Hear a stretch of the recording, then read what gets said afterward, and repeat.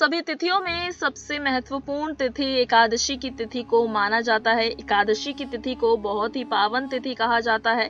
कहा जाता है कि अगर इस दिन नियम के अनुसार व्रत आदि किया जाए तो व्यक्ति को पुण्य की प्राप्ति होती है। माघ महीने के शुक्ल पक्ष की एकादशी को जया एकादशी कहा जाता है, जो कि इस बार पाँच फरवरी के दिन पड़ रही है। जी हाँ आपको बता दें, अगर कोई एकादशी का व्रत करता है तो व्रत के दौरान गन्ने के रस का फलाहार किया जाता है। इसके अलावा, अगर आप इस दिन, शुभ दिन कुछ बातों का ध्यान रखते हैं तो इससे माँ लक्ष्मी और भगवान विष्णु बहुत ही ज़्यादा प्रसन्न हो जाते हैं। लेकिन उसी के साथ आज हम आपको कुछ ऐसे काम बताएँगे जो कि आपको जया एकादशी के दिन ज़रूर करने हैं, जिसकी वजह से हमेशा भगवान विष्णु की कृपा आपके ऊपर बनी रहेगी। अगर आप जया एकादशी का व्रत कर रहे हैं तो इस दिन आप अपने साफ़ मन से भगवान विष्णु की पूजा अर्चना करें।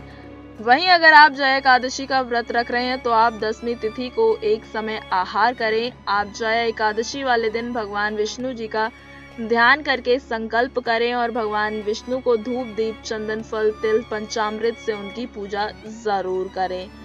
आप जया एकादशी व्रत पर नारायण स्त्रोत और विष्णु सहस्त्र नाम का पाठ भी ज़रूर करें। इसके अलावा आपको ये भी बता दें, इस दिन किसी भी तरह के बुरे काम करने से बचे, किसी को धोखा देने से बचे, किसी को झूठ बोलने से बचे, इसी के साथ किसी को दुख दर्द भी इस दिन ना दें। नेक्स्ट नाइन स्पिरिचुअल से आर्थिक रिपोर्ट